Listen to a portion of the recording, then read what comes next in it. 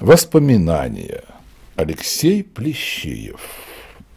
Посреди людского шума и томящей суеты Часто вижу пред собою вдруг я мертвые черты, Очи впалые закрыты, плотно сомкнуты уста, Но еще не отлетела от почившей красота.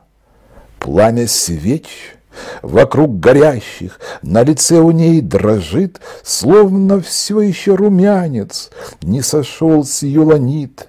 Я отвесть не в силах взгляда От спокойного лица и тоске, Гнетущей сердце, меры нет и нет конца, Помню я, когда сокрыли навсегда ее от глаз, О, как мне взглянуть хотелось на нее еще хоть раз.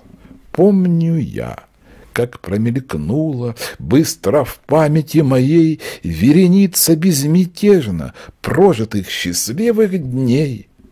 И понятней с каждым годом становилось мне потом слово, сказанное миру, ада сумрачным певцом, что тяжелее мук для сердца, что ужасней пытки нет, как о днях былого счастья вспоминать в годины бед.